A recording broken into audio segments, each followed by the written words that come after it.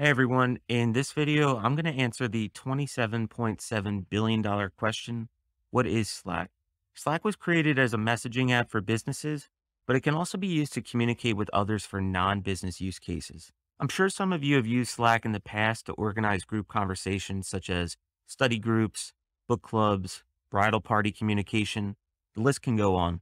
But for businesses, Slack is a one-stop shop for all employees to collaborate, communicate, and leverage all of the company's digital tools in one centralized location.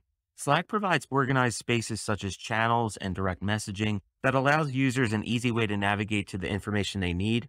Here you can see that there's a channels and a direct message on this sidebar. I've added this Salesforce training channel, but the other two channels come out of the box. Unlike email chains and siloed conversations, Slack provides users the ability to see the entire picture in one space. Slack essentially replaces email communication. For example, if your company is working on a specific project, that project can have a designated channel where all the communication and files related to that project are stored and visible to all members of that channel. Channel-based communication is significantly better than email communication. Slack is also searchable. So at the top here, users can search and easily access information across your company's various channels. I'll dive deeper into channels in a later video, but one of the unique things about channels are they can be shared with an external organization via Slack Connect, which allows an easy way to collaborate with stakeholders outside of your company on any project.